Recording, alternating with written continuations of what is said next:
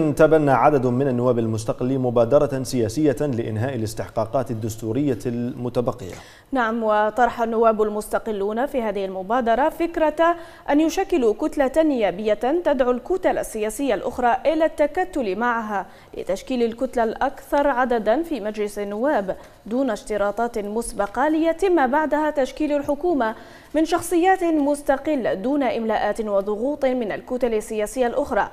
ولفت بيان المستقلين إلى أن الكتل النيابية الداعمة لتشكيل الحكومة ستتعهد بتهيئة أسباب المعارضة الفاعلة وأيضا ضمان الفصل التام بين عمل الأغلبية السياسية والمعارضة وأيضا تمكينها من أدوات الرقابة في رئاسة اللجان النيابية.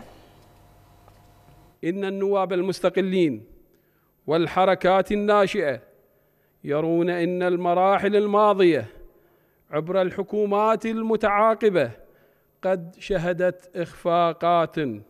لذا نرى أن يشكل تحالف النواب المستقلين والحركات الناشئة كتلة نيابية تدعو الكتل السياسية المعنية إلى التكتل معها لتشكيل الكتلة الأكثر عددا في مجلس النواب.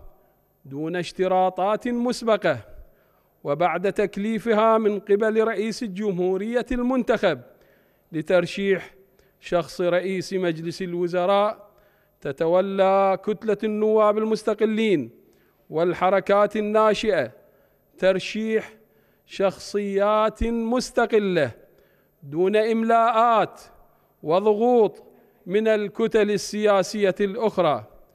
وتتولى الكتلة الداعمة تمكينه من اختيار الكابينة الحكومية